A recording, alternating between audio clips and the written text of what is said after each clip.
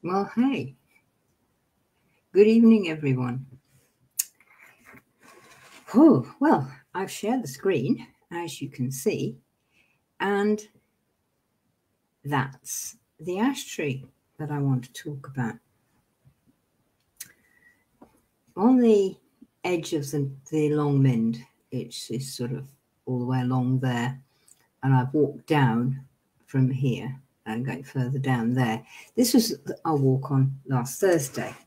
I've got more pics there and I'll be putting more up and talking about them because I think it's all rather important. But we sort of came round into this valley and looked to our right and whoa, there it was. It's an ash tree that's blown over. And we've had massive gales, as I think I've said, and it's been really, really, really strong, like 40, 50 mile an hour winds. And that ash tree went in those winds because we were down there not very long, two or three weeks ago, and it wasn't down. So, well, a few weeks ago, and it wasn't down. So it's come down in those winds. So, what was this about? I mean, is this a dead tree? Well, let's try again and get in a bit closer because I've got another photograph of this lovely ash tree. So let's see what we've got again and get there. StreamYard is a bit slow on this one can't seem to dash from one to the other. So that's a close up of ash tree. I didn't get that close. This was zoomed on the camera. But there we are. There's ash tree. And can I get this scene to move? Yes, I can. So there's ash tree. And a close up of ash tree. And ash tree's very broken. But is ash tree dead? In the other picture, when you're looking further away, there are a lot of branches going out quite a long way. Here's quite a big tree. And when you look here, you can see all these different stems coming out of him.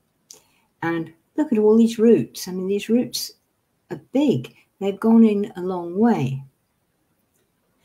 Uh, I know whether you can see whether what you know, but there's a bit of a giveaway of what sort of land it might be there. What's this? These are rushes, reeds, which means wet. And there is a stream actually between Ash Tree and the path I was on. And it does get quite wet. Now, there's two good things because the land is very, very rocky and stony on the Mynd. The rock is very, very close to the surface and doesn't necessarily hold water very well. But Ash Tree was very close to water. Roots easily get to water, so he was getting water all right. So, what happened? And is he dead? We'll come back to that. Well, he got blown and he got rocked about in the wind, but the roots haven't come up, see? He's broken in here. That looks like one of the heart places where he was broken. So, what happened there?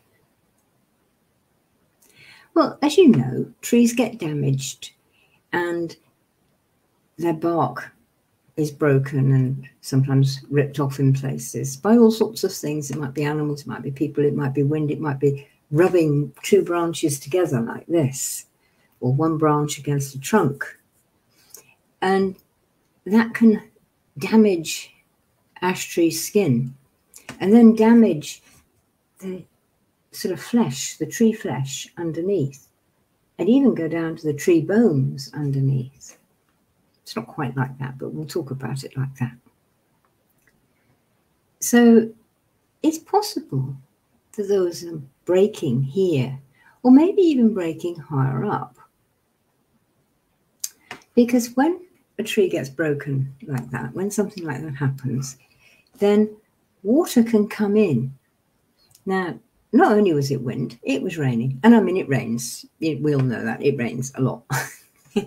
and so the water can come down, yeah, and down into any gaps. And like where there's a tree, you know, like this, with branches like this, and there's a gap, that is where water settles and bounces. And you know how strong water is? It's just tap, tap, tap, tap, tap, tap, tap, tap, tap, tap. And it can knock a building down.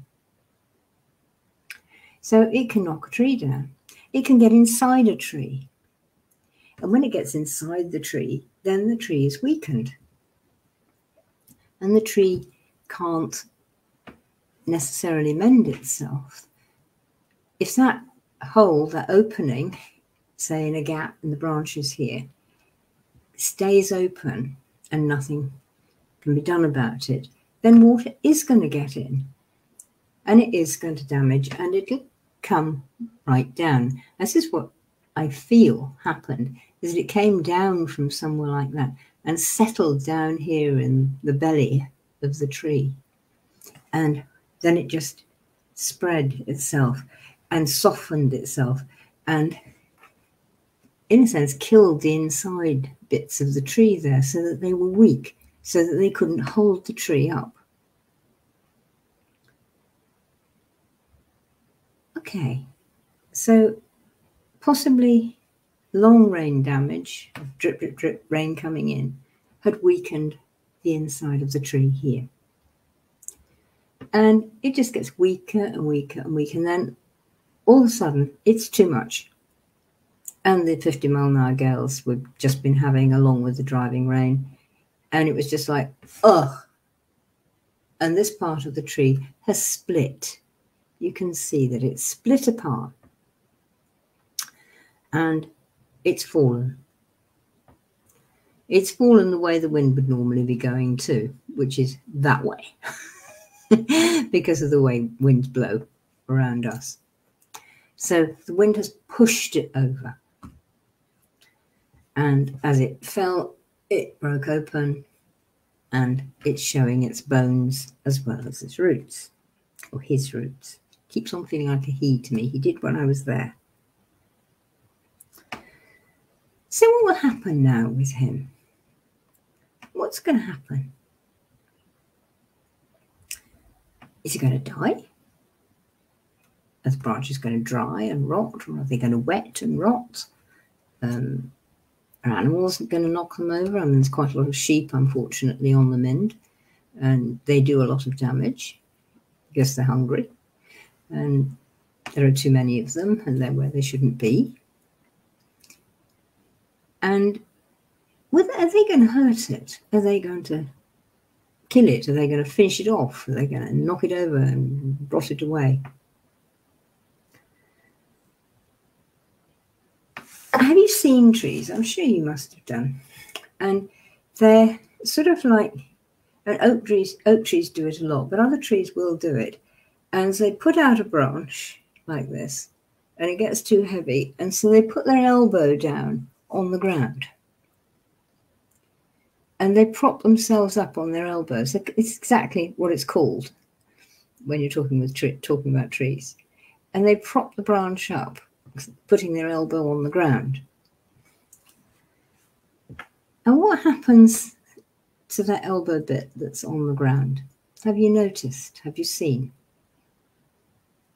It's quite often the elbow bit will grow roots. The roots will come out, and so a new root system starts underneath the branch of the tree. And that feeds that branch and it can also, because it's still attached to this bit that's along, along the ground here, it can also feed that bit and anything that's coming up from that bit. So the tree props itself up so that it can start putting fingers of branches and little twigs upwards towards the sun because that's what it wants to do. It doesn't want to grow horizontal, it wants to grow up to the sun. All plants do. And it's got another root system starting. Now, it's quite likely that a lot of these branches will do that. Let's stop with this one for a minute and go back to the other tree. Da di da di da da. We will get there, honestly. Let's go to the further away one and have a look at that. Okay, so you can see there's a lot of them. It goes right out there, and there's a branch right up there. And these are high in the air. And they'll have little buds along them. Along all these branches, there will be little buds. And more twigs, which can become branches, will grow upwards. See this bit here is like an elbow on the ground, yeah? Can I make this bigger for you too? Let's see if I can. Oh, I can. I've tried this before. Um, so you can see this bit is on the ground here, and so is this bit. And this bit will be that's under the bracken. And this bit is going into the ground too, and that's actually going into the water in the ground as well. And there'll be more of it over here and here. So there are lots of these elbows propping up everywhere, yeah? And possibly making root systems that go down. So that tree has actually got the opportunity to grow again and spread again. These roots are still working because the soil is so thin and the rock so close to the surface you do see them, but they're still working, and there's lots of little fibers going down there into the earth and picking up food and picking up water. What else is the tree connecting to? Remember that thing called mycorrhiza, the fungus, the huge fungus array that should be all underneath this ground. You won't necessarily see it on the top, but there should be this whole spider's web, this whole network of mycorrhiza under the ground there. And the mycorrhiza connects between the various plants and it helps them all take food and water from the ground and give back their own nourishment and stuff to make the circle work on the ground completely, in the ground completely. Get that right. So, is that a dead tree? I don't know. I suspect it may well not be. I suspect that if I come back next year, five years' time, I shall see new ash trees spreading out from there and spreading from all these branches. So let's go in there again. So it can spread from all of this area that we saw here. And these will work still and be growing more leaves. And what do they do when they grow more leaves, when those branches grow more leaves? They photosynthesize. They do this totally incredible magic between water and sunlight and make food and make oxygen. So that tree is not necessarily dead and very likely not dead either. Almost certainly not. But how many people will think that it is dead? Oh, look, there's a dead tree. Instead of, oh, look, there's a tree that's fallen over. And maybe it's trying to live again and working on mending itself and putting itself back together. And this is how it does that. And, you know, people know that. Well, most people seemingly nowadays don't. If you've always lived in a city and you never go outside and you're used to trees looking like trees in a park or a garden, you know, a, a sort of prissy garden, then that will be strange to you and it will look wild and unkempt and dying and damaged and frightening. Do you see that? He's like a skeleton, isn't he? He's like a weird insect, a weird creature, a weird, weird animal, or a weird, weird plant. But in that fear and in those feelings of weirdness and strangeness, and I think people don't altogether see this in themselves, is there's animation in that tree. That's why I'm afraid of it. It might get up on its legs and start walking around. It might do suddenly something strange. It might suddenly even stand up. I mean, you know, there's enough video games now where that happens. I suspect ash tree won't actually do that. But ash tree will grow, almost certainly will grow again. And so what appears dead isn't, and will actually come back to life, maybe even more life. He may be even better than he was when he was what people think of as a nice straight trunk and nice branches doing all the right things, going out the right way in the right shape. And we think of that as life. But ash tree isn't like that, is he? Ash tree isn't like that. He's not a proper shape. He's huge and all over the place and very big. And there is this animation feeling that he is alive. And if he's alive, and because he looks weird, he doesn't look like we expect him to look not like proper ash trees do. He frightens us because if he can look like that, then he can be strange and he can be different and he can do things that we don't expect. There's an awful lot in there. There really is. An awful lot in there. Expectations. Okay? something isn't like what we expect. So it's not normal. And if it's not normal, it might have things in it that we don't know about. And we fear it. So it's almost certainly dangerous. And so we need to take it away. We need to clear up. It's a mess anyway. It looks awful. It's a mess. We need to clear it up. We need to clear up this part of the mall.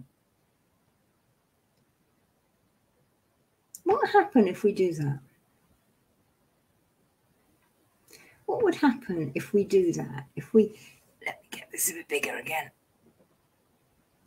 If we get all of this and we take it away from this patch. I mean, that looks sort of nice and green and it's it's sort of sort of short. So somebody's been mowing it. Actually, it's the sheep and some deer have been mowing it and probably some rabbits.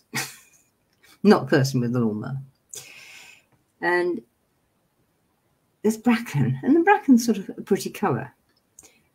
And there's a path down here. So, you know, actually he's in the way of the path. It's blocking the path. So needs clearing up because it doesn't look like what we expect, because it doesn't look normal.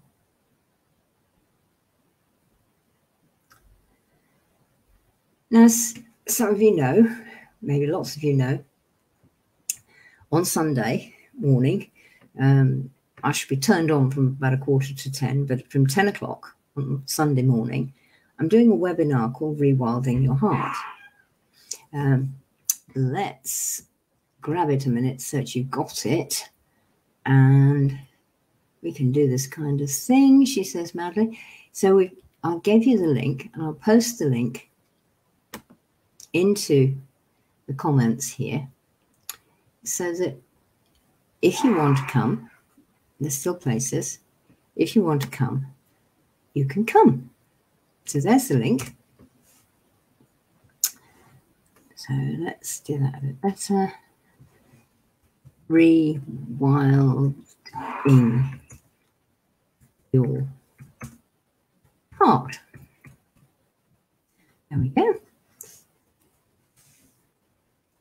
So if you want to come and talk, do more of it, I'm doing that. But when you, what I'm going to do there is actually talk about what rewilding your heart means. And I'm actually talking a bit about it now, aren't I? Because it's about how you feel with ash tree. Because ash tree's pretty amazing, really. Let's get there again. And ash tree really is quite amazing here. He's wild and he's living and he's broken and he's mending and he's dying and he's coming back to life. And he's doing things that you can't actually do because you can't photosynthesize. You haven't got all the right kit. You can't even put roots down into the ground like he can to eat and drink. You can't do things like putting your elbow on the ground and growing roots from it to prop yourself up and make yourself bigger. He's pretty amazing, isn't he? He can do all this stuff. And humans can't. We're not meant to. We're not trees. We don't do it that way. We do it different ways. We do things differently. But because he doesn't look like what we think he should look like, he scares us. So I'm going to talk about that quite a bit on Sunday and do exercises and journey and story and stuff like that to help you get a hang on what is actually happening in your own head. And what's happening in your head is going to affect what happens in your heart. Because over the past thousands of years, actually, but certainly over the past 1,000, um, the last few hundred years, we are have been conditioned into think people, head people, head cases, not heart cases and not gut cases. Ash tree isn't like that. Ash tree is a gut person. Okay? He's a real gut person. He's actually working in here in his gut. And it's also his heart. And we actually call it that when you're looking at this wood inside the, the trunk and the branches of a tree. That's called the heartwood. And it really is. It's also the part of one part of the wood that helps draw sap up and down, although there's other parts of it that do it right out at the edges as well. These trees are quite complicated beings, how they work. And so we're going to do this. We're going to talk about what heartwood is in our hearts. And, you know, is it wooden or is it flexible? Because the inside of ash tree is actually quite soft and flexible. Not, you know, tiddly widdly, like, you know, you wouldn't squeeze it quite like you do your fingers, but it is much softer. And then you feel the outside skin, and that's like, that's holding me safe. That's stopping too much rubbing and damage happening so that I won't fall off, over too often. I'm going to talk about all that and how that works and how it works in us. And why am I going to do that? What's my big scene about that? Well, I can't remember one of the Indian chiefs was very good. Let me grab that one too, and I can give you what he says.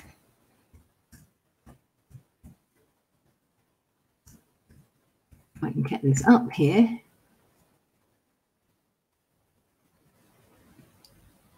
There we go, I think.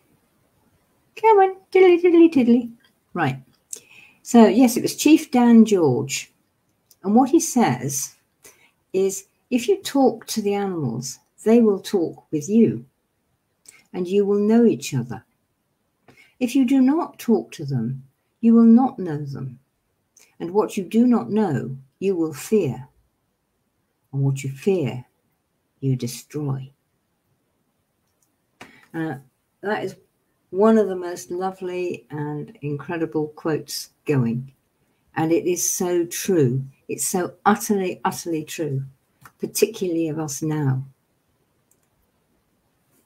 You fear ash tree, okay? You fear ash tree.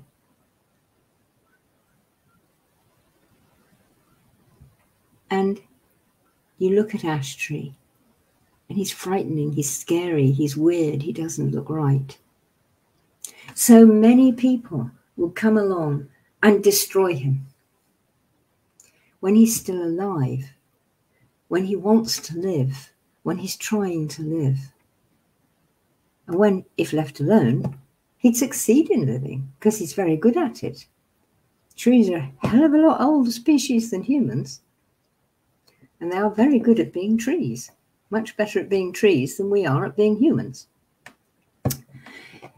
So, this is what we want to know. This is what we want to feel. This is what we want to play with. And we should be doing it all the time now because the only place we're going to make it and make changes and make things happen is not with governments and not with COPs of 26, 2705, whatever it is now, not with big organizations, even. Because all of those, you know what we do? And I bet you'll all sort of go, if you realize it, is we give our power to them. They can do it. They'll help us. They'll sort it out for us. We can't do anything. We're just little people. So I've just my own power, just like that. And I've gifted it to these people who probably don't have my sort of values and don't care about ash tree as I do, and may not, very likely not, not even know about ash tree as much as I do. And I don't know that much, not compared to real tree people. And so we say, oh, please, COP26, please do it for us. Look, we've walked all the way to Glasgow. Oh, we, are really poor. We, we can't do it. We really need you to do it. Excuse me, I am going to say a rude word. Bollocks. We can do it. We can do it for ourselves. And what's even better is we can even work a bit like ash tree. Because here's, you know, the original ash seed that grew. And it grew lots and lots of big roots and became a great big fat tree because he was big. You can see that. And he grew lots and lots of branches and all this sort of thing. And then he fell over he got blown over by a big wind and rotted away a bit inside by rain. So, what does he do? He gets together with his branches and any branches he can get near the ground, and they don't even actually have to touch the ground. They can send roots down from, you know, a little way away, like this. Amazing, isn't it? Anyway, he gets together with all the other bits of himself and he makes himself new and different, very different to how he was before. But he will be. So, what can we do? Well, we put down lots of big roots and we've got economies and governments and royal families and presidents and shit knows what. You know, all these great big things around us and big business and COP 2050. And it's all gone wrong. We've been blown over. We're useless now. We're flat on the ground like this. So what Ash Tree does is he goes to all his bits, all the bits of himself, and he asks them to root and he asks them to grow, and they get together. Each individual twig and branch, little rootlet that comes off these branches they get together and they, little bits like that, little cells, little tiny parts, they bring together a whole new tree that is quite different from the one that blew over. Are you seeing the analogies? It isn't you know, Kew Gardens or the Royal Horticultural Society or something that digs up all this mess, clears it all up, and then plants a new ash tree. Not at all. It's the ash tree himself, using his own little bits, keeping together with himself, talking with himself, and getting himself back together.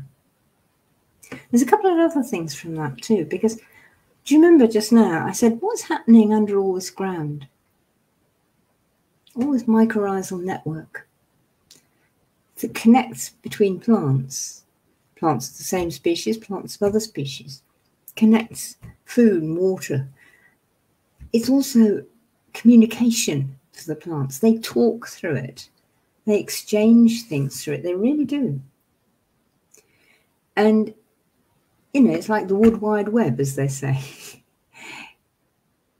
so he's not only even doing it to him, on himself, he's getting together with all the little people, all the little fungal threads that live here, and working with them. And they're not the same as him. They're even older than him. Fungi are the oldest plant, oldest life forms, and we don't even know whether they're a plant or an animal, really. Some of the oldest life forms on Earth. I think viruses are the only things that are older. But he's not saying, Oh, you're a horrible fungi. I don't want you. He's saying, Help, help me, reaching out his hands. And the fungus is going, Oh, yeah, have some of this, mate. That's all right. So, do you see what I'm saying again? It's the little people who will do it. The little people who do things like Incredible Edible is one of my favorites. Um, just up the road, there's Edible Wrexham. And this is where people, they see a bit of land that just gets mowed and doesn't get anything from the council. So they plant it full of vegetables or flowers. And those vegetables flowers are free for anybody who wants to pick them as they go past. And they plant apple trees. And the apple tree apples are free to anyone who goes past. So they're coming together. But it's the little people. It's not an organization who sort of marshaled them all up there and took them out and said, You do that, you do that, you do that, you do that. They just did it themselves. It's happening in other sorts of places where people are doing communal land work, communal land buying. And that's important too. But it isn't, so often it isn't the big people. That communal land buying still has problems because there is so much greed. And, you know, you've got Lord Fatass or whatever his name is, who owns sort of 5 million acres in whatever. And he'll sell you 1 million acres of it for a price. So you then have to scrabble around because you buy into what he says. You have to scrabble around and pull the money together to play his game. How wild is that? Hmm? How wild is that? How wild do you feel that in your heart or do you worry about it in your head? I think most people tend to worry about it in their heads. So, it's the little people who need to come together. And we're going to talk about and play with that on Sunday morning. And exercises, some proddy, proddy question exercises. So, what do you think about this? You know, and then everybody comes back together. And, well, we thought so and so and so and so. Somebody else says, we thought so and so and so and so. So, we're sort of practicing what I'm just saying put up an idea, and then everybody come at it from their own direction and see what happens. And sometimes you'll think, actually, that wasn't a good idea at all. And sometimes you think, ah, that's a really good idea. Let's play with that one. So this is what we're going to start playing with on Sunday. And it's so much about Dear Ash Tree. It's one of my favourite places to walk, this valley. So I will be walking past him again. And every few months and say, how you doing? and particularly next spring when he's had plenty of time over the winter, which looks all sort of dead and dour, and it's not because there's so much going on under the ground here. And I shall see what he's been doing under the ground. And so, what is going to spring up from him? And that's partly why I thought of doing this first little introductory webinar in November. Samhain, still going down into the dark. We don't come to the shortest day until the 20th, 21st of December. So we're still going down and in, like he is, like he's putting his roots down.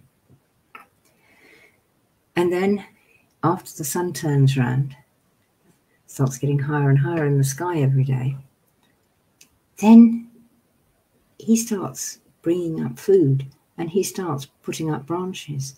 I'm going to go and see next spring. What have you done? Oh, look at all those branches. Look, you've got leaves here, you've got buds here.